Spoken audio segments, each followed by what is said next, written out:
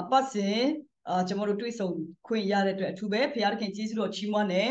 အဝေးကနေပါဝင်နိုင်တဲ့เนาะအန်တီတို့ကုဆိုးတူတို့ကိုလည်းအထူးပဲကြိုးဆိုပါတယ်ပေါ့เนาะကျွန်တော်တို့ ਨੇ အမြဲတမ်းမိထားရဖွဲ့ခွင့်เนาะဖခင်ကပေးတယ်ပြီးတော့ကျွန်တော်တို့အခွင့်အရေးတွေရနေတဲ့အထူးပဲကျေးဇူးတော်ချီးမွမ်းတယ်ဒီနေ့ညမှာလည်း ဒီအချိန်နာရီထဲမှာကျွန်တော်တို့ရဲ့ဘဝအသက်တာဝိညာဉ်ရေးရအတွက်ပြန်လည်ပြီးမှယဉ်ဤမြုံနှံကြတဲ့ဒီကုံမတွေအရောက်တိုင်းတမန်တရားကပေးတဲ့လွတ်မြောက်ခြင်းအရောက်တိုင်းပေါ်မှာတက်ရောက်ပါစေအာမင်ဟာလေလုယာဆိုတော့ကျွန်မဒီနေ့ယူဆောင်လာတဲ့နှုတ်ကပတ်တော်ကတော့တမန်တရားပဲဖြစ်တယ်ဆိုတော့တမန်တရားဆိုတဲ့နှုတ်ကပတ်တော်အကြောင်းကိုကျွန်မဒီနေ့မှာအထူးပဲအာနှုတ်ကပတ်တော်လေ့လာတော့ရအောင်အာကျတာဘရင်းတွေကကျန်းစာလေ့လာတဲ့အချိန်ဖြစ်တဲ့အတွက်ကျွန်တော်တို့ကျန်းစာလည်းဖတ်ဖို့လိုမယ်ပြီးတဲ့အခါမှာကျန်းစာအကြောင်းကိုလည်းအတူတူကဆင်ခြင်ဖို့ဖြစ်ပါတယ်လို့နော်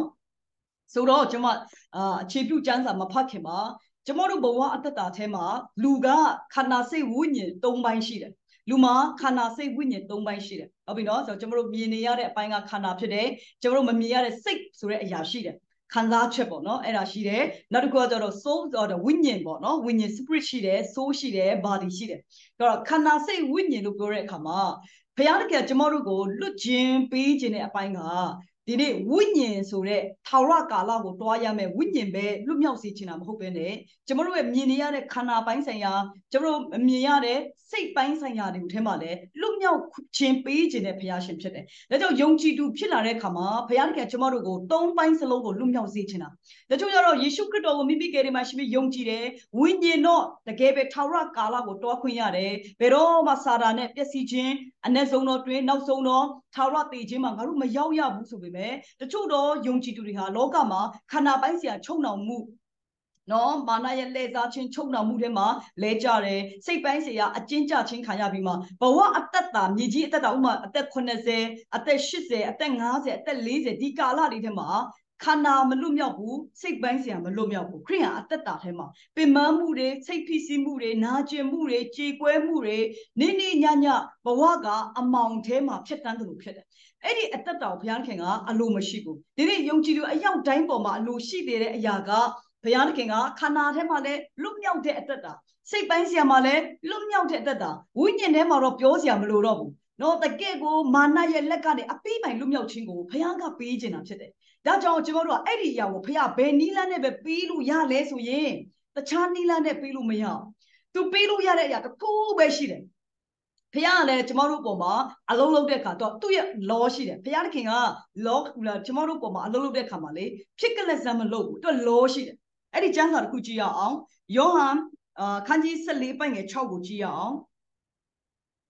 sorry ယောဟန်8:32ကိုကြည့်ရအောင်နော်ယောဟန်ခန်းကြီး8:32တကယ်လို့ကျမ်းစာအုပ်တွေနားမှာရှိနေမယ်ဆိုရင်ကျမ်းစာအုပ်လန်ရအောင်ကျမ်းစာဖတ်ရအောင် အာကျမ်းစာဖတ်ဖို့အတွက်ကျွန်မအားပေးချင်တယ်ယောဟန်ခန်းကြီး8ပိုင်ငယ်32မှာတမန်တရားကိုလည်းတိကျသဖြင့်ထိုတရားသည်သင်တို့ကိုလွတ်လိမ့်မည်ဟုယုံကြည်သောယူဒလူတို့အားမိန့်တော်မူ၏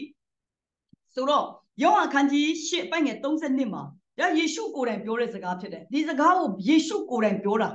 ဘ누구ကိုယ်တိုင်လဲယေရှုကိုယ်တိုင်ပြောတဲ့စကားဆိုတော့အရင်ရေးကြီးတယ်နော်ဥမာပေါ့အတိတ်ကာလမှာဓမ္မဟောင်းကာလမှာဆိုဘုရားတကယ်ခွဲခန့်တဲ့ prophet တွေပြောတဲ့စကားတွေရှိတယ်ဒါပေမဲ့ဒီမှာတော့ဘုရားရဲ့တပါးကြီးတော်သားတော်ယေရှုခရစ်တော်ကိုယ်တိုင်ကပြောတဲ့စကားဆိုတော့အင်မတန်မှအရေးကြီးတယ်ဆိုတော့ကိုချစ်တော်ညီကောင်မတွေအသက်တာမှာသိစေချင်တယ်ကျမ်းစာပါပေါ့တမန်တရားကိုလည်းတိကျသဖြင့်ထိုတရားဟာသင်တို့ကိုလွတ်မယ်လို့ယုံကြည်သောယုဒလူတို့မိန့်တယ် ဒါတော့ယူဒလူတွေကမလွတ်မြောက်ဘူးဖြစ်နေတယ်ဘာလို့လဲဆိုတော့ဒါပေမဲ့သူတို့ကသူတို့အရှိမရောက်နေတဲ့တမာတရားသိမှုတော့ယေရှုရှိပါလျက်နဲ့သူတို့ကပြည့်ညက်တရားရဲ့ချုံနှောင်မှုတွေတနည်းအားဖြင့်လောတွေထဲမှာရှိနေယေရှုကိုယ်တိုင်ကတမာတရားဖြစ်တယ် ယေရှုကိုယ်တိုင်ကတမာကျမ်းစာဖြစ်တယ်ယေရှုကိုယ်တိုင်ကနှုတ်ကပတ်တော်ဖြစ်တယ်ဒါကြောင့်ဒီနေ့မှာနည်းနည်းလေးတချို့အတွက်ဆိုရင်တမာတရားလည်းပြောတယ်ယေရှုလည်းပြောတယ်နှုတ်ကပတ်တော်လည်းပြောတယ်တမာကျမ်းစာလည်းပြောတယ်ဘာလဲလို့တချို့ရှုပ်ထွေးတော့မှာဆိုလို့တကယ်တော့ယေရှုကတမာတရားလည်းဖြစ်တယ်တမာတရားဟာတမာကျမ်းစာလည်းဖြစ်တယ်ဒါတမာကျမ်းစာဒီနှုတ်ကပတ်တော်လည်းဖြစ်တယ်ဆိုတော့ဒါလေးကိုကျွန်တော်တို့သဘောပေါက်ဖို့ဖြစ်တယ်တချို့ကတော့ဒါကိုကျမ်းစာအုပ်လို့ပဲမြင်တယ်ဒါကျမ်းစာအုပ်ပေါ့လေ မှန်ပါတယ်ကျမ်းစာအုပ်ပါဒါပေမဲ့ဒီကျမ်းစာအုပ်ကဘာကိုပြောတာလဲနှုတ်ကပတ်တော်ဒီထဲမှာဘုရားနဲ့ဆိုင်တဲ့စကားရှိတယ်အဲဒါအဲ့ဒါကိုလည်းသိစေချင်တယ်ဒါဆိုပြီးနှုတ်ကပတ်တော်အဲ့ဒီဘုရားရဲ့စကားတမန်တရားဘု து ပြန်ပြောတာလဲဆိုရင်ယေရှုကိုယ်တိုင်ဖြစ်တယ်အဲဒါလေးကိုနားလေသိချင်တယ်ဒါကြောင့်ယေရှုကဘာပြောလဲအေးတဲ့မင်းတို့ကတမန်တရားကိုသိတဲ့အခါမှာအဲ့ဒီတရားကမင်းတို့လွတ်မြောက်ခြင်းပေးမယ်တဲ့ယုံကြည်သောယူဒလူတွေကိုပြောတယ်ဒါပေမဲ့ယူဒလူတွေကဘာလဲ ယေရှုဆိုတဲ့တမန်တရားရောက်နေပြီဒါပေမဲ့ယေရှုကိုကားစင်တင်ခဲ့တာသူတို့ပဲဒါမှယေရှုကိုယ်တိုင်ကတမန်တရားဟာသူဖြစ်ကြောင်းကိုသူကမိတ်ဆက်ပေးနေပြောပြနေတာဖြစ်တယ်။ဒါဆိုရင်လူတစ်ယောက်ဟာခန္ဓာကောစိတ်ကောဝိညာဉ်ကောထဲမှာလွတ်ခြင်းတွေရဖို့အတွက်မာနရဲ့ညှင်းဆဲခြင်းတွေနော်တနည်းအားဖြင့်မာနရဲ့ဖြည့်ဆည်းခြင်းဘေးကနေလွတ်မြောက်မဲ့တစ်ခုတည်းသောအရာကတမန်တရားသိဖို့လိုတယ်အာမင် တမန်တရားသိဖို့လိုတယ်ပြောတဲ့အခါမှာလေကျွန်မပြောတာကကျမ်းစာအလွတ်ရတော့ပြောတာမဟုတ်ပါဘူးเนาะကျမ်းစာအလွတ်ကျက်နိုင်တာကိုပြောတာမဟုတ်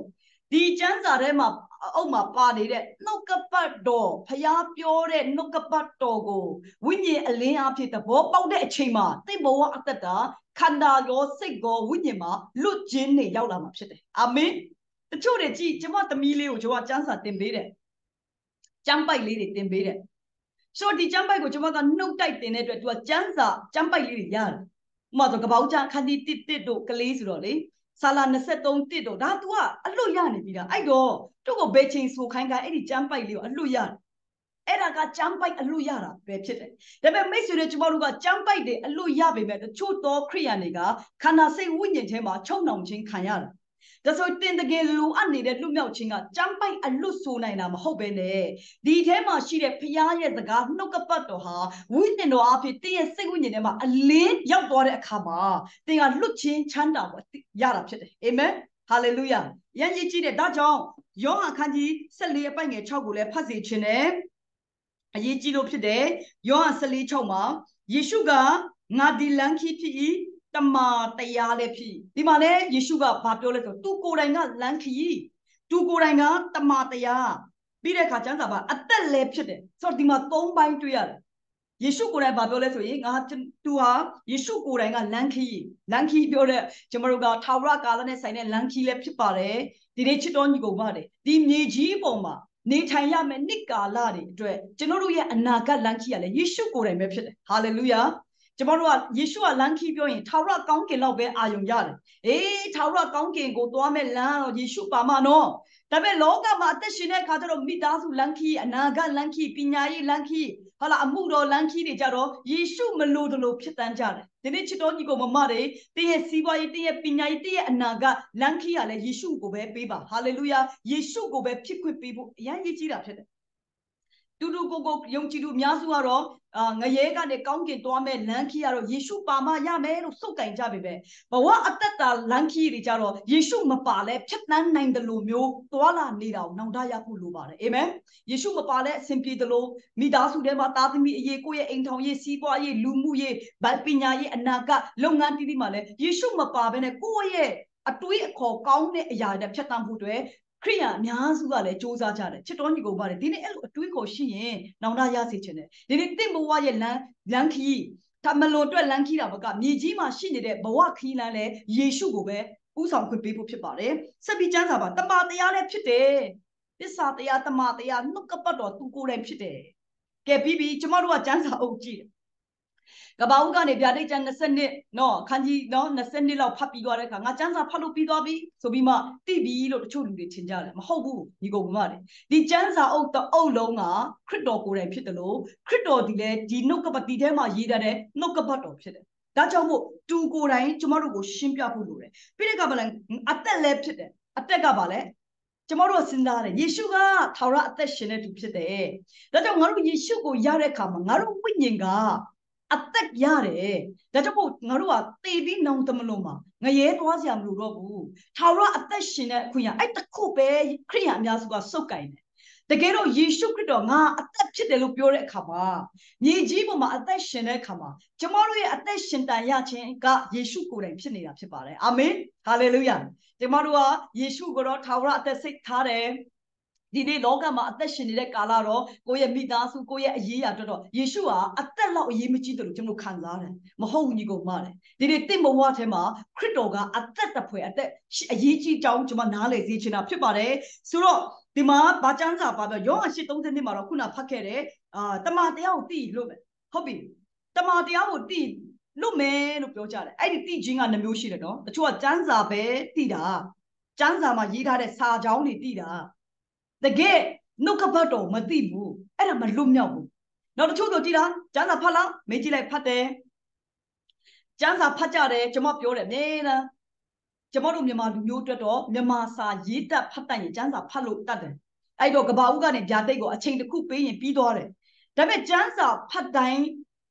လွတ်ချင်းရတာမဟုတ်ဘူးပြန်ပြောမယ်ကျန်းစာတခန်းပြီးတော့လွတ်မြောက်တော့တာမဟုတ်ဒါပေမဲ့စစ်မှန်တဲ့လွတ်မြောက်သောသူတွေကကျန်းစာဖတ်တယ် ပြန်ပြောမယ်ပြန်ပြောမယ်ဗာလဲကျန်းစာဖတ်ပြီးလို့လွတ်မြောက်တာမဟုတ်ဘူးဒါပေမဲ့လွတ်မြောက်သွားတဲ့လူတွေကိုကြည့်ရင်ကျန်းစာဖတ်ရင်ကျန်းစာနားထောင်ရင်ကျန်းစာမှာပါတဲ့နှုတ်ကပတ်တော်တွေခံယူရင်းနဲ့လွတ်မြောက်သွားတာဖြစ်တယ်အာမင်ဒါကြောင့်ကျမတို့က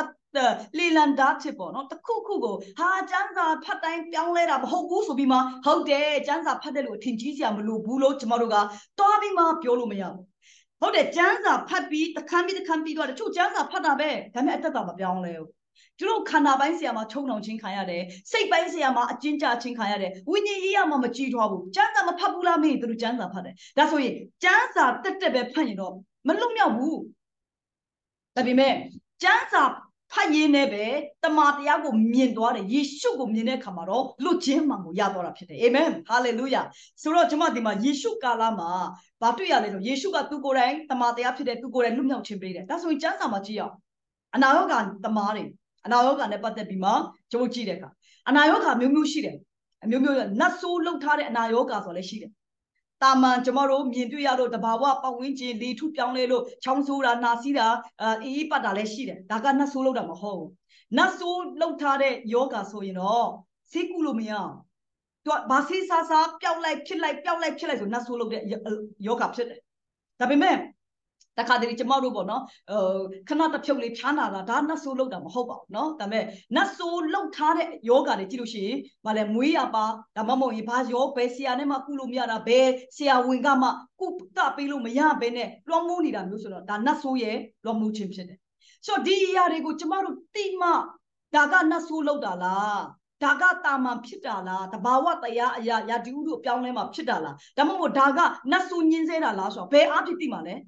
ကျန်းစာမဖိုင်သိမလားနှုတ်ကပတ်တော်ကပွင့်ပြချက်တွေဖခင်နှုတ်ကပတ်တော်တွေမကြားဘူးနှုတ်ကပတ်တော်ဆိုတဲ့တမန်တရားကိုကျွန်တော်တို့မစင်ကျင်မဲနဲ့ဖခင်ဒီတမန်တရားကျွန်တော်တို့မလွတ်မြောက်နိုင်ဒါကြောင့်တချို့သောလူတွေ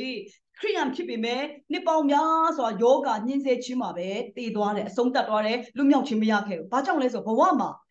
တမန်တရားမသိရင်မလွတ်မြောက်ဘူးဖြစ်တယ်ချစ်တော်ညီကောင်မတယ်တချို့ကခန္ဓာပိုင်းဆရာမှာမာနညှင်းဆဲထားတယ် ကျန်းစာဖတ်မှသိမယ်ညီကောင်မအဲ့လိုပြောလို့ကျွန်မခုနပြောပြီးပြီနော်ကျန်းစာဖတ်တိုင်းလဲလွတ်မြောက်တာမဟုတ်တချို့ကကိုယ့်ထက်တောင်ကျန်းစာအကျန်းပိုက်ရအများကြီးရသေးတယ်ဒါပေမဲ့အသက်တာမှာလုံးဝတမာတရားကြောင့်မလွတ်မြောက်ဘူးဆဲတဲ့လူကဆက်ဆဲနေတာပဲ မုံတဲ့လူကလည်းမုံတက်တာပဲမာနာကြီးတာလည်းကြီးတာပဲမပြောင်းလဲနိုင်မလွတ်မြောက်နိုင်ဘူးဘာကြောင့်လဲဆိုရင်ကျမ်းစာအလွတ်ရလို့လွတ်မြောက်မှာမဟုတ်ဘူးကျမ်းစာမှာပါတဲ့နှုတ်ကပတ်တော်ကိုဝိညာဉ်တော်ကဖွင့်ပြခြင်းရမှာတမန်တရားဖြစ်လွတ်မြောက်တာဖြစ်တယ်အာမင်ဟာလေလုယာဒါကြောင့်ကျွန်မဒီနေ့မှာညီကောင်မတွေကျမ်းစာကျွန်တော်တို့တချို့ကပြောတယ်အရာလွတ်မြောက်ချင်တယ်မူရစေဝါဒါမှမဟုတ်နတ်ဆိုးဆွဲတာဒါမှမဟုတ်ဒီဟာကနော်ဘယ်ဘယ်ကိစ္စရကြကျွန်တော်တို့ပါပြစ်ဒဏ်ရှိလဲအမင်္ဂလာရှိလဲဆိုတော့တမန်တရားမသိဘ လို့မှမလွတ်မြောက်နိုင်ဘူးလေဥမာတကယ်လို့ကျွန်မပြောမယ်ကျမတို့အရောက်တိုင်းကခရစ်တော်ရဲ့ကယ်တင်ခြင်းဆိုတဲ့တမန်တရားအားလုံးကကျမတို့ယေရှုခရစ်တော်ရဲ့ကယ်တင်ခြင်းကိုကျမတို့လက်ခံကြားရတယ်သတင်းစကားကြားသွားတယ်ပေါ့လေကျမ်းစာသင်တန်းအဖြစ်တော့၎င်းဆရာတွေဝေငှချင်ကျမတို့ကြားသွားတယ်အဲ့ဒီတမန်တရားကိုကြားပြီးမှကျမတို့ယေရှုကိုလက်ခံလိုက်တဲ့အခါမှာဘယ်ကနေလွတ်မြောက်လဲ ထာဝရတည်ခြင်းထာဝရအပြစ်စီခြင်းကျွန်တော်တို့လွတ်မြောက်တယ်ဟုတ်ပြီဒါဆိုအဲ့ဒီထာဝရစီရင်ခြင်းကနေလွတ်မြောက်နိုင်ဖို့အတွက်ကျွန်တော်တို့ကဘာခံယူရတာလဲတမန်တရားဆိုတဲ့ယေရှုရဲ့စကားကိုကြားရတယ်အဲ့ဒီတမန်တရားကကျွန်တော်တို့ကိုငရဲကလွတ်မြောက်စေအောင်ယုံကြည်ပေးနိုင်တာဖြစ်တယ်အာမင်ဒါဆိုရင်တမန်တရားကကယ်တင်ခြင်းခံရလို့တခုမဟုတ်ဘူးကျမတို့နေ့စဉ်လူဒီလောကမှာအသက်ရှင်တဲ့ခါမှာကယ်တင်ရမယ့်အရာတွေအများကြီးရှိတယ် စိတ်ဝိညာဉ်ခန္ဓာစိတ်ဝိညာဉ်ကယ်တင်ရမယ့်အရာဝိညာဉ်ကတော့တစ်ချိန်ကယ်တင်တာနဲ့ကောင်းကင်ရောက်သွားပြီဒါပေမဲ့ကျွန်တော်တို့ခန္ဓာအားနေခြင်းတွေအပြစ်ထဲမှာလဲကျခြင်းတွေစိတ်ပိုင်းဆိုင်ရာမှာမထိန်ချုံနိုင်ခြင်းတွေအမျိုးမျိုးတော့မာယူတော့အသွေးခေါ်တယ်ဒီຢာကနေကျွန်တော်တို့လွတ်မြောက်ဖို့ကဘာဆက်ပြီးခံယူဖို့လိုလဲဆိုရင်တမာတရားဆိုနှုတ်ကပတ်တော်ဖြစ်တယ်ဒါကြောင့်ညီကောင်မတွေကျွန်တော်တို့စမ်းစာဖတ်ဖို့မပြင်းဖို့ကျွန်တော်အားပေးခြင်းတယ်နောက်တစ်ခုကနှုတ်ကပတ်တော်နားထောင်ဖို့မပြင်းပါနဲ့အချိန်ပေးရမယ် အခုလိုပေါ့ဒါ Bible study တွေကျွန်တော်တို့ဒီခေတ်ကာလဆိုရင်အာနော်ကျွန်တော်တို့နားလည်နေတဲ့ဘာသာစကားတွေရနော်နော်နှုတ်ကပတ်တော်တွေကျွန်တော်ကြားရတယ်များများကြားဖို့လိုတယ်တမန်တရားအာမင်ကြားဖို့လိုတယ်ပြီးတဲ့အခါမှာနှုတ်ကပတ်တော်ကိုယ်တိုင်စင်ကြယ်ဖတ်ရှုဖို့လိုတယ်ဒါကကျွန်တော်တို့ကိုဘယ်ကနေလွတ်မြောက်စေတာလဲကျွန်တော်တို့ကိုခန္ဓာဒီ မာနရဲ့ထောင်ချောက်ထဲမှာရှိမဲ့အနေပေကနေလွတ်မြောက်စေတာဖြစ်တယ်ဟာလေလုယာဒါကြောင့်ကျွန်တော်ဒီနေ့မှာနှုတ်ကပတ်တော်နဲ့ဆက်ပြီးမှပြောချင်တယ်နိတိမောတေတိမောတေဒုတိယဆောင်ခန်းကြီး3ပိုက်ငယ်15ကိုဖတ်ချင်တယ်တိမောတေဒုတိယဆောင်ခန်းကြီး3ပိုက်ငယ်15ဖတ်ချင်တယ်နော်နိတိပေါ့ခန်းကြီး3ပိုက်ငယ်15မှာယေရှုခရစ်ကိုယုံကြည်ခြင်းအဖြစ် ကယ်တင်ခြင်းအလို့ငါပညာကိုပေးနိုင်တော့ဓမ္မကျမ်းစာကိုငယ်တော်အရွယ်မှစ၍လေးချက်ဒီကို၎င်းဆိုတော့တိမောသေကို ရှင်ပေါလုကပြောတယ်နော်ယေရှုခရစ်ကိုယုံကြည်ခြင်းအဖြစ်ကယ်တင်ခြင်းအလို့ငါတဲ့ယေရှုကိုယုံကြည်ပြီးတော့ကယ်တင်ခြင်းခံစားစီတာကခန္ဓာစီဖို့လို့ငါဘာပညာကိုပေးနိုင်တဲ့ဓမ္မကျမ်းစာပြန်ပြောမယ်ဓမ္မကျမ်းစာ နော်ဒီကျမ်းစာအုပ်ကိုတမန်ကျမ်းလို့လည်းခေါ်တယ်ဓမ္မကျမ်းစာလို့လည်းခေါ်တယ်ဒီဓမ္မကျမ်းစာကတဲ့ယေရှုခရစ်တော်ကိုယုံကြည်ခြင်းအားကြောင်းတဲ့ကေတင်ခြင်းအဲ့ဒီကေတင်ခြင်းက soul ဝိညာဉ် sorry spirit ဝိညာဉ်တစ်ခုပဲကောင်းကင်ရောက်ဖို့ဝိညာဉ်တစ်ခုပဲငရဲကလွတ်မြောက်ဖို့အတွက်မဟုတ်ဘူးကျမတို့ရဲ့ကိုယ်ခန္ဓာ ကျမတို့ရဲ့စိတ်ပိုင်းစရာတွေလည်းလွတ်မြောက်ပြီးကေတင်ချင်းခံစားဖို့ရန်အတွက်ပညာကိုပေးနိုင်တာကတဲ့ဒီဓမ္မကျမ်းစာဖြစ်တယ်တဲ့အာမင်ဟာလေလုယာဒါဆိုဒီနေ့ဒီကိုမတယ်တရားကျမ်းစာမဖတ်ဘူးနှုတ်ကပတ်တော်နားထောင်ဖို့ပြင်းတယ်ကျမ်းစာဖတ်ဖို့ပြင်းတယ်ဆိုတင်ရဘယ်တော့မဆိုတိမဝမှာခန္ဓာပိုင်းစရာစိတ်ပိုင်းစရာရတင်ရအမြဲတမ်းရှုံးနေနေမှာဖြစ်တယ်ဘာလို့လဲကျမ်းစာပြောပြီးသားခန္ဓာစိတ်ဝိညာဉ်ကိုကယ်တင်ပေးပြီးလွတ်မြောက်ခြင်းပေးနိုင်တာက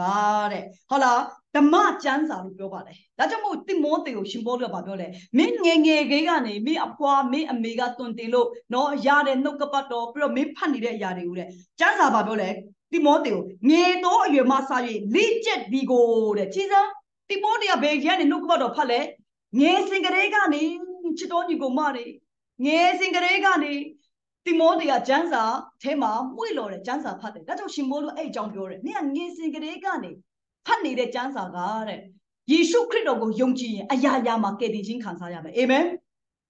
ခန္ဓာပိုင်းကကျွန်တော်ရုပ်ပိုင်းဆိုင်ရာမှာအာကျွန်တော်တို့ဘယ်တော့မှငွေကြီးဆိုင်ရာမှာအကျွေးကနေဘယ်တော့မှမလွတ်မြောက်ဘူးတချို့ကဘာလဲဖိစီးမှုတွေအမျိုးမျိုးရှိတယ်တချို့ကယောဂဒီယောဂပြောင်းရင်နောက်ယောဂရောက်တယ်တချို့ကလေဒီဖိစီးမှုပြီးနောက်ဖိစီးမှုလားအဲ့လိုပြဿနာတွေကနေလွတ်မြောက်စေတာကယေရှုခရစ်တော်ရဲ့ကယ်တင်ခြင်းဟာလေလုယာ အဲ့ဒီကေတင်ခြင်းအတွက်ပေးတဲ့ပညာကိုပေးနိုင်တာကတဲ့တခြားမဟုတ်ဘူးနော်တဲ့ဓမ္မကျမ်းစာပဲဖြစ်တယ်အာမင်နှုတ်ကပတ်တော်ကျွန်တော်တို့ကင်ထားတဲ့လက်ဝဲမှာရှိတဲ့နှုတ်ကပတ်တော်ဓမ္မကျမ်းစာကပဲအဲ့ဒီဘဝကနေလွတ်မြောက်နိုင်မယ်လို့ရှင်ဘောလူကတိမောသေကိုပြောတယ်ဆိုတော့ကျမ်းစာမှာတိမောသေကဘလို့တော့ဖတ်တယ်ငေတော်အရွယ်ကစရည်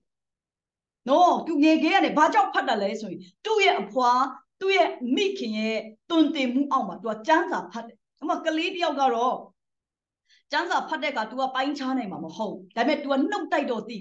ဒါပေမဲ့ तू ကနေစေအဲ့ဒီနှုတ်တိုက်တွေကိုဖတ်ရေးဖတ်တတ်ရေးဖတ်တတ်ရေးနဲ့ तू အတက်တာထဲမှာဘာလို့လဲအဆိုင်ခဲတစ်ခုလိုကြီးထွားလာစေတယ်ဒါကြောင့်မို့ကျန်းစာဖတ်ခြင်းကလေအသက်ကြီးမှမဟုတ်ဘူးနော်ဘောနဂင်ဖြစ်ပြီးတာတော့တချို့လူတွေကျန်းစာအုပ်ကိုမကင်တာဘယ်လိုလုပ်မလဲကျန်းစာဘာပြောလဲဒီဓမ္မကျန်းစာကတဲ့ ကယ်တင်ခြင်းအကြောင်းဖြစ်တယ်ဟာလေလုယာကျမ်းမာမကျမ်းမာတော့သူတွေယောဂါကနေကယ်တင်ခြင်းခံရဖို့လဲဒီဓမ္မကျမ်းစာမှာရှိတယ်ယူတဲ့သူတွေပြန်ပြီးမှလူကောင်းမတိဖြစ်ဖို့ဒီကျမ်းစာမှာရှိတယ်နော်ငတ်ဖို့ခေါပါနေပြီးချွတ်ချုံကြတဲ့ဘဝတွေပြန်လဲကြွယ်ဝလာဖို့ဒီတမန်ကျမ်းစာမှာရှိတယ်အာမင်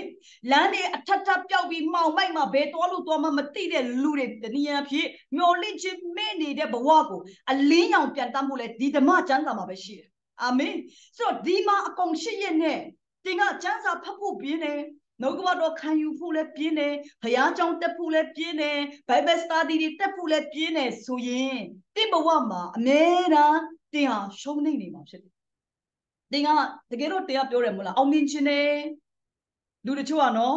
အောင်မြင်ခြင်းတယ်ပြောတယ်တကယ်တော့တင်မအောင်မြင်ခြင်းဘူးကျွန်မကြည့်ရတာတချို့ကငါအောင်မြင်ခြင်းတယ် အနာဂတ်မှာကောင်းခြင်းနဲ့အားလုံးအလုံးလုံးတယ်ကောင်းစားခြင်းနဲ့ပေးခြင်းနဲ့အောင်မြင်ခြင်းနဲ့တချို့ပြောကြတယ် ဒါပေမဲ့တင်တကယ်မအောင်မြင်ချင်ဘူးဘာလို့လဲဆိုရင်အောင်မြင်ခြင်းကိုဘလို့လုပ်ရမလဲဆိုတာကဓမ္မကျမ်းစာမှာပဲရှိတယ်အာမင်လောကမှာတော့တင်သိလိမ့်မယ်လောကမှာတော့အာနီးစနစ်ပေါင်းများစွာအခုဆိုဘလို့လုပ်ရင်ဘလို့ဖြစ်တယ်လောကမှာတော့စနစ်တွေအများကြီးရှိတယ်ဒါပေမဲ့ယုံကြည်သူတွေအတွက်စစ်မှန်တဲ့အောင်မြင်ခြင်းကတော့ဓမ္မကျမ်းစာဆိုတဲ့တမန်တရားအဖြစ်ပဲရောက်တယ်အာမင်ဟာလေလုယာဆိုတော့ကျမ်းစာပါပြောတိမောသေကိုပြောတယ်မင်းငယ်ငယ်ကနေဖတ်ခဲ့တဲ့တမန်ကျမ်းစာဆက်ပြီးအဲ့မှာခိုင်ခန့်ပါအဲ့မှာဆက်ပြီးတည်ဆောက်ပါလို့ပြောတယ် ဒီနေ့ညီကောင်မတွေကျွန်မအားပေးချင်တယ်ကျွန်တော်တို့ကျန်းစာဖတ်ခြင်းကိုတည်ဆောက်ရအောင်အခုချိန်ဒီတချို့ကျန်းစာအုပ်ကိုဖွင့်ဖို့အများခက်ခဲတယ်ဘာကြောင့်လဲတော့ကျွန်မမပြောတတ်ဘူးဘာကြောင့်လဲဆိုတော့ကျွန်မတယောက်ချင်းတွေ့မှမေးမှရမယ်ထင်တယ်နော်ဆိုတော့ကျွန်တော် Sunday နေ့အချိန်ယူကြမှာပဲဘာကြောင့်ကျန်းစာဖတ်ခြင်းကိုမဖတ်နိုင်ရတာနော်မဖတ်နိုင်ရတာတချို့ကတော့ကျန်းစာတော့ဖတ်တယ်ဒါပေမဲ့ဘလို့မှဖွင့်ပြချက်မရအောင်အများကြီးလူတွေနော် ဘာလို့လဲဆိုရင်ကျမတို့ရဲ့အုံနောက်နဲ့ပဲဖတ်ရင်ဝိညာဉ်တော်ရဲ့အလင်းပေးခြင်းမရောက်တဲ့အတွက်လူဟာအသက်တာမပြောင်းလဲ breakthrough မရဘူးလွတ်ခြင်းမရအောင်နားလည်မလားမသိဘူးနော်လွတ်ခြင်းမရအောင်ဒါလေးကိုလည်းကျွန်မနားလေစေချင်တယ်ဟုတ်ပြီကျွန်တော်တို့ကျမ်းစာဆက်ကြည့်မယ်ဘာကြောင့်ကျမ်းစာဖတ်ဖို့လိုတာလဲတမန်တရားဘာကြောင့်လွတ်ခြင်းပေးတာလဲကျွန်တော်တို့တစ်ချက်ကြည့်နိုင်ဖို့အတွက်ဓမ္မရာဆိုရင်ဒုတိယဆောင်24အခန်းကြီး24လောက်ကြည့်ရအောင်ဓမ္မရာဆိုရင်ဒုတိယဆောင်အခန်းကြီး24မှာ ဒီကျမ်းစာအုပ်ကျမ်းစာတွေ့လို့ရှိရင်ကျမတို့အတူတူကဖတ်ရအောင်လေနော်ဓမ္မရာဆိုရင်ဒုတိယဆောင်အခန်းကြီး24မှာအပိုက်ငယ်တင်းတဲ့နှစ်လောက်ဖတ်ရအောင်နောက်တစ်ဖန်ထာဝရဘုရားသည်ဣတိလအမျိုးကို အမျက်ထွက်တော်မူလင်စာတန်ဒီယံဘက်ပြု၍ဣတိလလူနှင့်ယူဒလူတို့ကိုရေတွက်စေခြင်းကဒါဝိဒ်ကိုတိုက်တွန်းလေ၏ရှင်ပြန်ကလည်းလူပေါင်းမြည်များရှိသည်ကိုငါသိမိအကြောင်းဒါမျိုးမှဒီဗရရှိဘမြို့တိုင်အောင်ဣတိလခယံရှိသည်များတို့ကိုရှောက်တော်၍လူတို့ကိုရေတွက်တော်မူအထံတော်၌ရှိသောဗိုလ်ချုပ်မင်းယွာဘအားမိန်တော်မူ၏နော်ဒီမှာကြည်ဒီကျမ်းစာလေးနဲ့ကျွန်မနည်းနည်းပြောချင်တယ် ဒီကျမ်းစာကဓမ္မရာဒုတိယစာအခန်းကြီး24ကိုရောက်တဲ့အခါမှာနောက်တစ်ပါထာဝရဘုရားဣတေလအမျိုးကိုအမျက်ထွက်တော်မူလင်စာတန်ဒီယံဘက်ပြု၍ဆိုပြီးမှဣတေလနဲ့လူနဲ့ယုဒလူတို့ကိုရေတွက်ဖို့တနည်းအားဖြင့်ဒီကာလမှာဒါဝိဒ်ကတော့ဣတေလတိုင်းပြည်ရောဒါ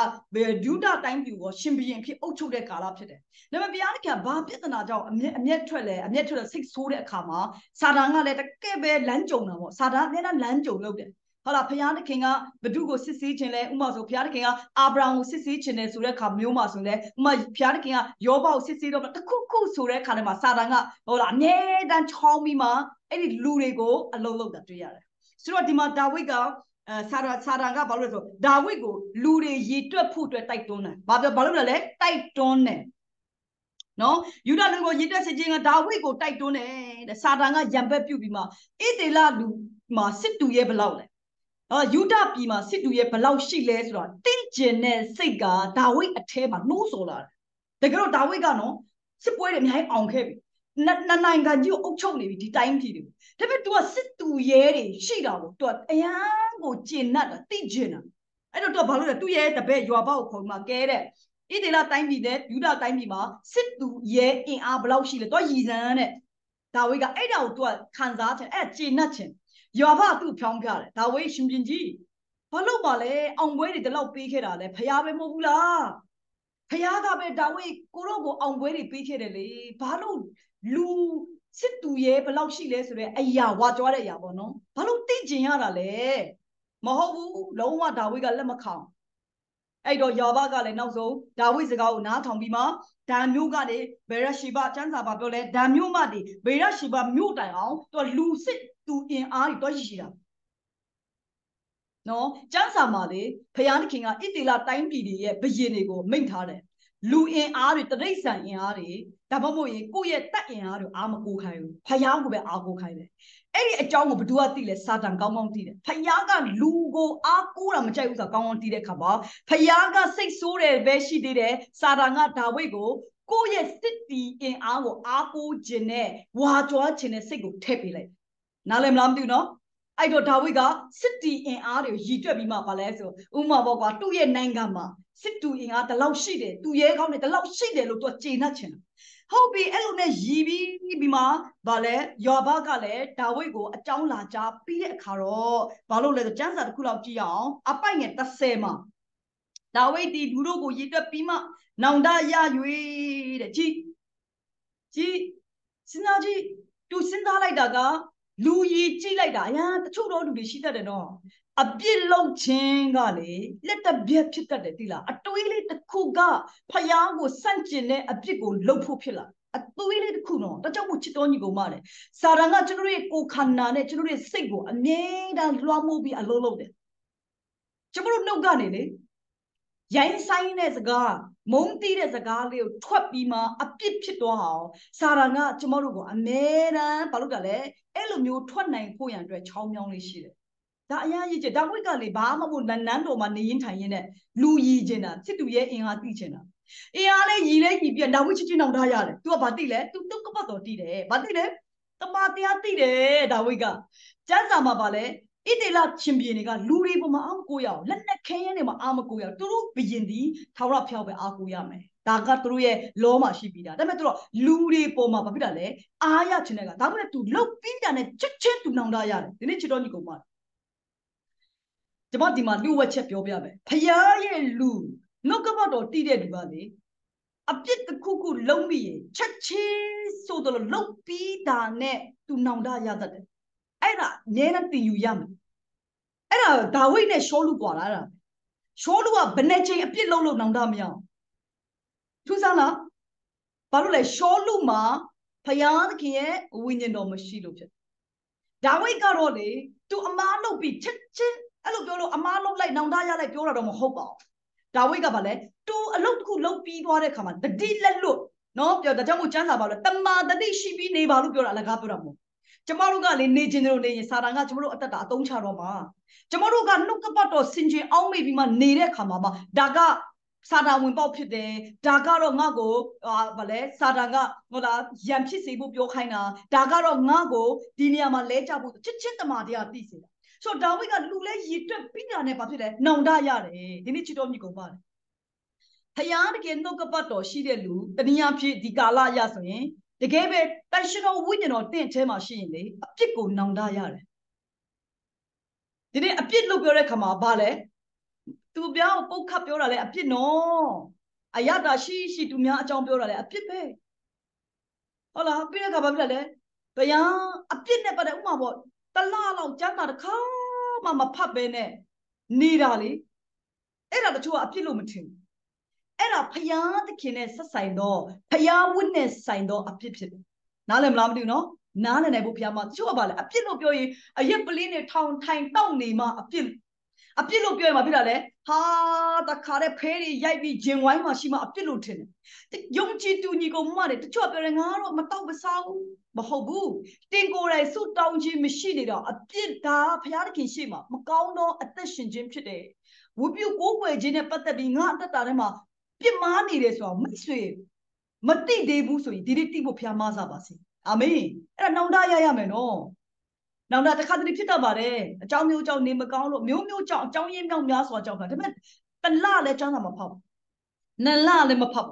2023ဒီ6လပိုင်းကုန်တော့မယ်အခုချိန်ဒီကျန်းစာအုပ်နဲ့ကိုနဲ့ကတခြားစီဖြစ်သေးတယ်တင်နောင်တမရဘူးဆိုရင်တင်းရဲ့ဝိညာဉ်ရေးရတင့်အထဲမှာရှိတဲ့တန်ရှင်တော်ဝိညာဉ်တော်ပြန်စစ်စစ်ဟာလေလုယာဘာလို့လဲအထဲမှာရှိတဲ့တန်ရှင်တော်ဝိညာဉ်တော်ဘာဝဲစာငါခိုင်းလဲ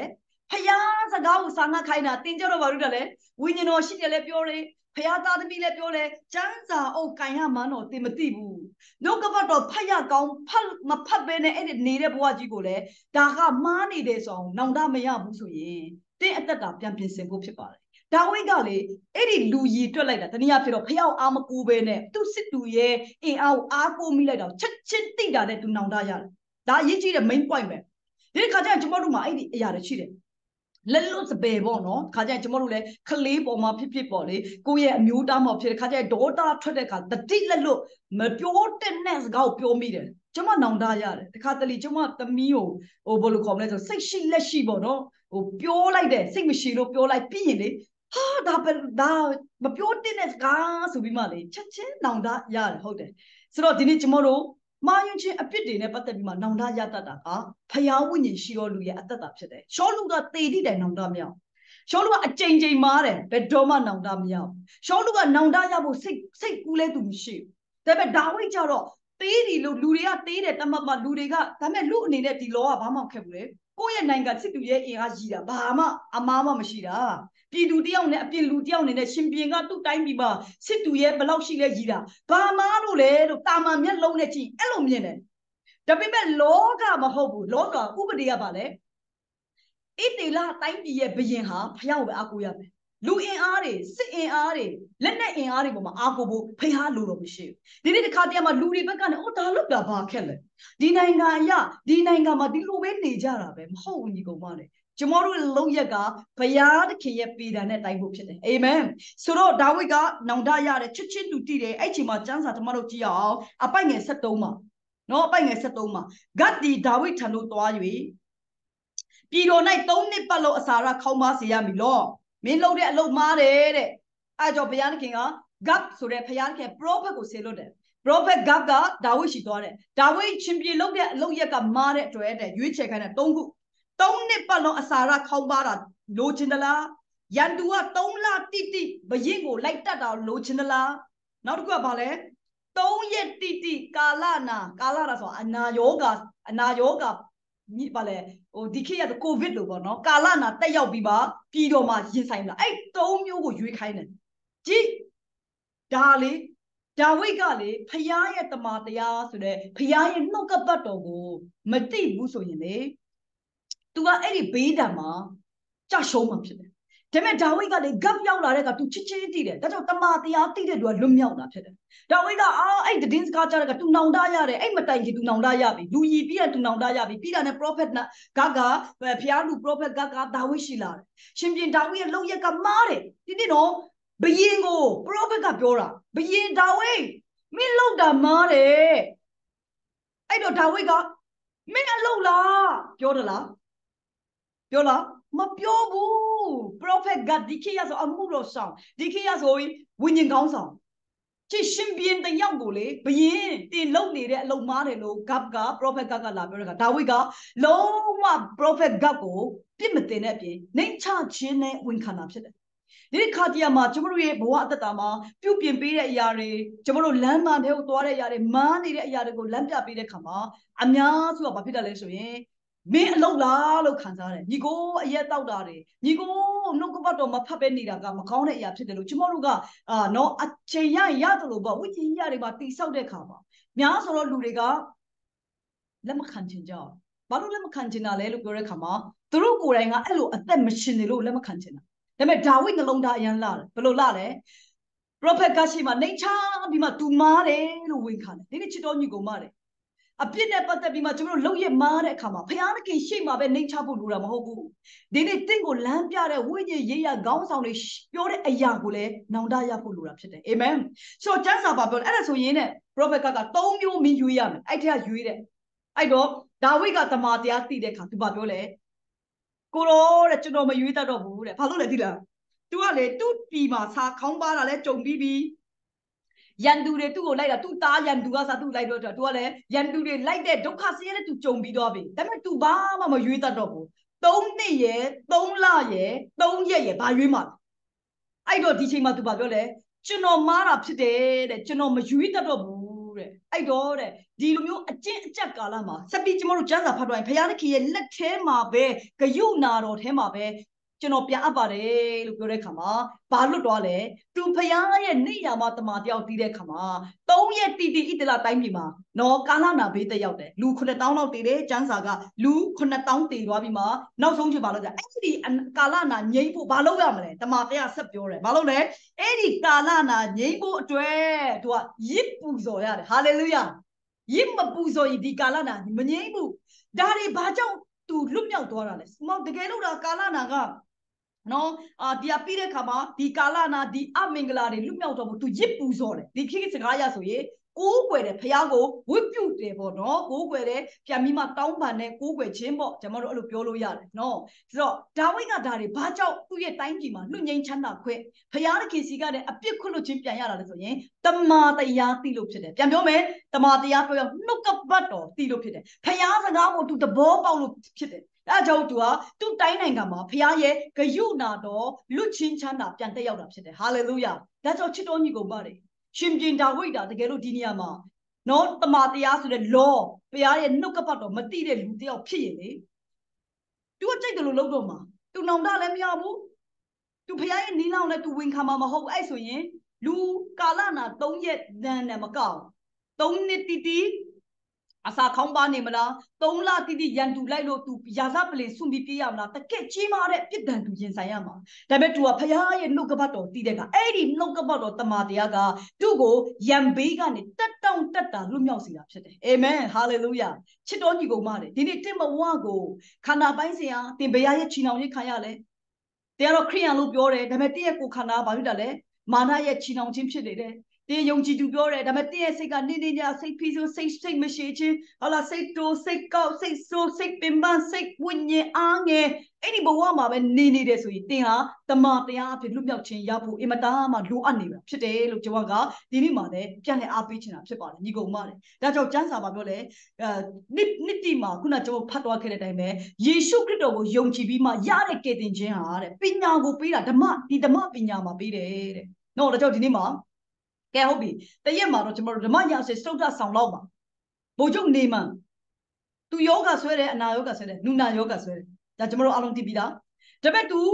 နှုတ်ကပတ်တော်ရှိတယ်အဲ့လိုရှင်းနဲ့တွေ့တဲ့အခါမှာအဲ့ဒီနူနာဆွဲပြီးမှလူရမဝင်တော့တဲ့ဘုံကျုပ်နေမှန်ကဘာဖြစ်တော့လဲအဲ့ဒါယောဒန်မြစ်မှာခုနှစ်ကြိမ်နှစ်ပြီးမှအသားရည်ပြောင်းလဲပြီးမှ तू ကြမ်းမာတဲ့လူပြောက်ဖြစ်ပြီးမှလူအတိုင်းဝိုင်းထဲမှာပြန်ရောက်လာတယ် အာမင်အဲ့ဒါဘာကြောင့်လဲလို့ပြောတဲ့အခါမှာအဲ့ဒီနှုတ်ကပတ်တော်တမန်တရားဆိုတဲ့အိလိရှဲနဲ့တွေ့သွားလို့ဒါကြောင့်ဓမ္မဟောင်းမှာဆိုရင်ကျမတို့ကဘုရားဘုရားလူဖြစ်တဲ့မောရှေတို့အေလီယာတို့အေလိရှဲတို့ပြီးတဲ့ခါမှာဒန်ယေလတို့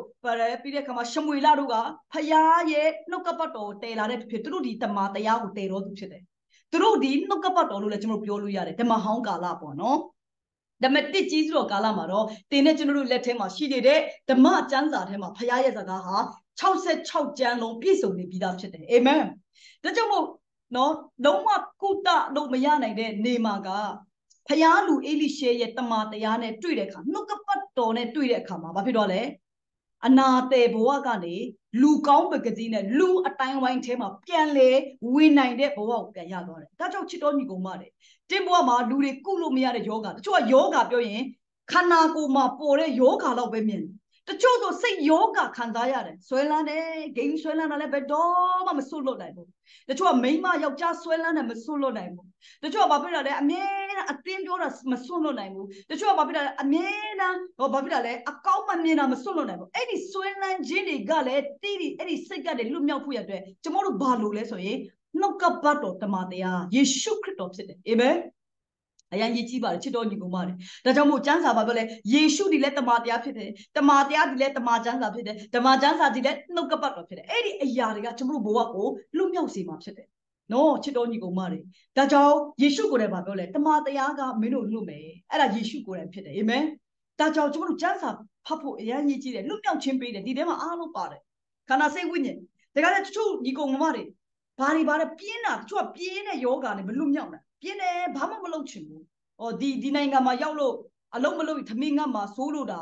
လူတွေခိုင်းတဲ့အလုပ်ပဲလုပ်ချင်တာကြံတဲ့အရာဘာတစ်ခုမှဆန္ဒမရှိဘူးတိုးတက်ခြင်းစိတ်တွေမရှိတော့ဘူးကိုဘဝအတွက်အကျိုးရှိမဲ့အလုပ်တွေမလုပ်ချင်ဘူးကောင်းမွန်တဲ့ပေါင်းတိဆက်ဆံရေးတွေမတိဆောက်ချင်ဘူးတွင်တင်ပေးတာတွေကိုလက်မခံချင်ဘူးဆိုတာကတင်လွတ်မြောက်ဖို့လူနေတာဖြစ်ပါတယ် နော်သင်လွတ်မြောက်ဖို့လိုနေတာဖြစ်တယ်ဒါကြောင့်ဒီနေ့ကျမတို့ကိုလွတ်မြောက်စေဖို့အတွက်ပညာပေးနိုင်တာဓမ္မကျမ်းစာဖြစ်တယ်လို့ပြောပါတယ်ဒါကြောင့်ကျမဒီနေ့မှာအားပေးခြင်းနဲ့ချစ်တော်ညီကိုမတွေယေရှုကိုယ်တိုင်တော့လွတ်မြောက်ဖို့တမန်တရားလိုတယ်ကျမ်းမာဖို့တမန်တရားလိုတယ်ကျမတို့အသွေးအခေါ်တွေမှန်ဖို့ဘာလို့လဲတမန်တရားလိုတယ် တမန်တရားလိုတယ်ကျမတို့နေ့စဉ်စိတ်ဖိစီးမှုတွေမာနရဲ့ချုံနှောင်ခြင်းတွေကနေလွတ်မြောက်ဖို့နှုတ်ကပတ်တော်တမန်တရားလိုတယ်ဆိုတော့ကျမတို့ကလူနေတဲ့အရာကိုကျမတို့ကစင်ကျင်ခြင်းဖတ်ရှုခြင်းတရားနာခြင်းမရှိဘူးဆိုရင်ကျမတို့ကဖျားတကယ်ပေးတဲ့ကယ်တင်ခြင်းနဲ့ခန္ဓာစိတ်ပါအများအားဝေးကွာနေမှာဖြစ်တယ်တေတော့ရင်တော့ကောင်းကင်ရောက်တာပေါ့ဘုရားတကယ်ကျမတို့ကိုတေပြီးကောင်းကင်ရောက်တာတော့ပဲနေစီချင်တာမဟုတ်ဘူးမြေကြီးမှာအသက်ရှင်တဲ့ခါမှာခန္ဓာစိတ်ဝိညာဉ်ဝမ်းမြောက်စွာအသက်ရှင်ဖို့လိုတာဖြစ်တယ် အလိုရှိတဲ့ဖရားဖြစ်တယ်ဥမာပေါ့တချို့ကပြောတယ်အော်ကောင်းကင်ရောက်မှနော်ကောင်းကင်ရောက်မှဖရားရဲ့ကြွယ်ဝခြင်းထဲမှာပြောတော့ပဲလောကမှာတော့ရှိပါစေမဟုတ်ဖရားတကယ်အဲ့လိုလိုမရှိဘူးဖရားတကယ်တင့်ကိုဝိကောင်းကင်ရောက်တဲ့အခါလဲတင်းရဲ့ဝိညာဉ်ကောင်းကင်ရောက်စေချင်မြေကြီးမှာလဲဖရားရဲ့ကောင်းမြတ်ခြင်းမင်္ဂလာဂျေဇု blessing နဲ့ဖြတ်တန်းဖို့အလိုတော်ရှိတာဖြစ်တယ်အာမင်တို့တော်လည်းအဲ့ဒီအရာတွေကိုနေ့စဉ်ခိုးယူနေတာကမာနရဲ့အဖြစ်လုပ်ငန်းတွေဖြစ် နော်မပျော်ရွှင်နိုင်ဘူးပြဿနာတစ်ခုပြီးတော့ပျော်မလားနောက်တစ်ခုဖြစ်တယ်နောက်တစ်ခုပြီးလို့ဖြစ်မလားမဖြစ်ဘူးအမြဲတမ်းပျော်ရမယ်ထင်တယ်ဝမ်းမြောက်ရမယ်ထင်တယ်စိတ်ညစ်ရတယ်ဒါတွေကမာနကတင့်ဘဝကိုဘာဖြစ်တာလဲအေးတေရင်တော့ကောင်းကျင်သွားမယ်ယုံကြည်သူတယောက်နေနဲ့နော်ဒါတော့မှတင့်မတေချာဘူးတချို့ယုံကြည်သူတွေငရဲလားကောင်းကျင်လားမတေချာဘူးအများဆုံးဖျားကြောင်တက်တိုင်းလည်းကောင်းကျင်ရောက်တာမဟုတ်ဘူးနော်တချို့ကလုံးဝကေတင်ဖျားကြောင်မဲ့တက်ပြီးကေတင်ချင်းမရတဲ့ပုံကြီးရှိတယ်ဆိုတော့ တေတော့ဟုတ်ပြီယုံကြည်သူစိတ်ရင်တော့ကောင်းကြရောက်မယ်ဒါပေမဲ့ပြည်ကြီးမှာတင့်ကိုစိတ်တွေဒုက္ခရောက်စိတ်တွေစိတ်ညစ်ခန္ဓာမှာလည်းဒုက္ခတွေဘလဘွားနဲ့ဘုရားကမမြင်ချင်ဘူးဖြစ်တယ်ဟာလေလုယာဖခင်ကျမတို့ကိုခန္ဓာမှာလည်းမင်္ဂလာရှိစေတယ်စိတ်ပိုင်းဆရာမှာလည်းအမြဲတမ်းလွတ်မြောက်နေတာဝမ်းမြောက်နေတာစိတ်ရှင်းနေတာအဲငြိမ်သက်နေတာရန်ရည်ကြီးတယ်နော်ရန်ရည်ကြီးတယ်ကျမစံစာတစ်ပိုက်ဖတ်ပြီးဆုံးသက်ခြင်းနဲ့ဓမ္မရာဆိုတတရဆိုကတ်ရက်ပဲအခန်းကြီး1ဖြစ်တဲ့အပိုက်ငယ်6မှာ အခန်းကြီး1အပိုက်ငယ်6မှာခမေးတော်ကတင်းဒီအဘဲကြောက်ဤတို့ပြုတဲ့ဒီဟုသူစိတ်နာအောင်အခါမြမပြောစဘူးထို့တူဒီအစင်းလဲအလွန်လာဤကဲဟုတ်ပြီတရက်မှာနော်ဒါဝိဒ်လည်းအိုလာပြီးသူ့တိုင်းပြည်မှာသူ့တားတော်ကဘာလုပ်လဲဆိုရင်အဒေါနိယကရှင်ပြေလုပ်မယ်ဆိုပြီးမှပုံကံမှုစတော့တာဖြစ်တယ်ဒါပေမဲ့သူ့တားတော်ပဲကျမ်းစာဘလို့တော့မှတ်တမ်းတယ်လေအဘရှလုံရဲ့ညီဖြစ်တယ်အဘရှလုံအဘရှလုံရဲ့ညီလည်းဖြစ်တယ်တဲ့သူကလည်းဘာဖြစ်လဲ အဖေကိုသူကိုယ်တိုင်ကဘာလဲနန်းဘရင်ဖြစ်ချင်လို့ပုံကံဖို့လုပ်တယ်အဒေါနိယကဒါပေမဲ့အဲ့ချိန်မှာဒါဝိဒ်ကအသက်လည်းရမ်းကြီးပြီသူလည်းဘာမှမလုပ်ရှားနိုင်တော့ဘူးနော်အဲ့လိုဖြစ်တဲ့ကတခြားပေါ့ဥမာပေါ့ဒီခေတ်ရဆိုတခြားမြို့မှာအဒေါနီယာကသူ့ရဲ့တက်ဆိုင်တဲ့လူတွေခေါ်ပြီးမှချီးမြှောက်နေတာဘယင်လုပ်ဖို့ကြိုးစားနေတာအဲ့ဒီကာလမှာဒါဝိဒ်ကအခန်းကြီး6မှာခမီးတော်ဆိုဒါဝိဒ်ကဘာလုပ်လဲတင်းတင်းဒီအဘေကြောင့်ဤတို့ပြုတဲ့နေသူ့စိတ်နောက်တခါမျှမပြောစဘူးတဲ့ဒါဝိဒ်ကလေ နော်အဒေါနီယကဒါဝိဒ်ရဲ့သားဖြစ်တယ်ဒါပေမဲ့ဒါဝိဒ်ရဲ့နှုတ်ကနေတဲ့အဒေါနီယကိုနာကျင်စေတဲ့စကားတခုမှဒါဝိဒ်ကမပြောဘူးတဲ့တကယ်တော့ပုံကန်တူတကယ်တော့နန်းလူတဲ့တူတကယ်တော့မကောင်းတဲ့တူဖြစ်တယ်ဒါပေမဲ့ဒါဝိဒ်ဘာသိလဲသိလားယာဇပလင်ဆိုတာလူတိုင်းရတာမဟုတ်ဘူးဖယားအနေမှဖြစ်တယ်ဆိုတော့ဒါဝိဒ်ကကောင်းကောင်းသိတော့သူဖြစ်တယ်အာမင် တကယ်တော့ဒီနေရာမှာဒါဝိဒ်ကရှောလူတရားဆိုကြောက်နေပါလေရှောလူကဘာလဲဒါဝိဒ်လူမလားဆိုမှကြောက်ရင်ကြောက်ရင်ဒါဝိဒ်ကိုရန်ဆိုင်နောက်ဆုံးသိတာဒါပေမဲ့ဒါဝိဒ်ကဘာဘာစိတ်ရှင်းလဲသူ့စိတ်ကကယ်တင်ခြင်းခံရတယ်ဘာကယ်တင်ခြင်းလဲဖယားသဘောကိုတည်နေတဲ့အတွက်သူကအဲ့ဒီစိတ်ရဲ့ပြီးစီးမှုကနေလွတ်မြောက်တာဖြစ်တယ်အာမင်ဟာလေလုယာတချို့တွေကငါငါထက်တာတော့မလား ငါအလုံးမတူပိုတာတော့မလားအာငါသူငါထက်ပိုကောင်းအာစိတ်တွေညစ်ငါရဲ့အကွက်ကိုမြင်တော့မလားငါစီးပွားရဲ့အကွက်ကိုတိုက်မလားလောကမှာဒီလိုလူတွေနဲ့စိတ်ဆင်းရဲနေတာလောကသားတွေကဒီနေ့ယုံကြည်သူတွေဘုရားသခင်အလိုတော်မရှိဘူးဒါဝိဒ်ကဗာလဲသူ့သားအရင်သူ့နန်းတော်လူဖို့စူးစမ်းတာဒါပေမဲ့သူကဗာလဲဒီသားကိုတဲ့သူစိတ်နာမဲ့စကားတခွန်းတော့မပြောဘူးတဲ့သူ့ဘဝမှာလေ ဘာဘာနားလဲလေဖះဘာတင်ပေးလဲဒါဝိဒ်ကသိတယ်ယာဇပလင်ဆိုတဲ့ဖះပေးတဲ့နေရာဆိုတာလေလူပြီးရလာစရာအကြောင်းမရှိဘူးဖျားပေးမှရတာဖြစ်တယ်ဟာလေလုယာဒီနေ့တင့်အတွက်ပေးတဲ့ကောင်းချီးကိုဘသူကမှလူလို့မရဘူးမထားပါတဲ့အတွက်ဆိုရဘုရားပေးတဲ့ကောင်းကြီးဟို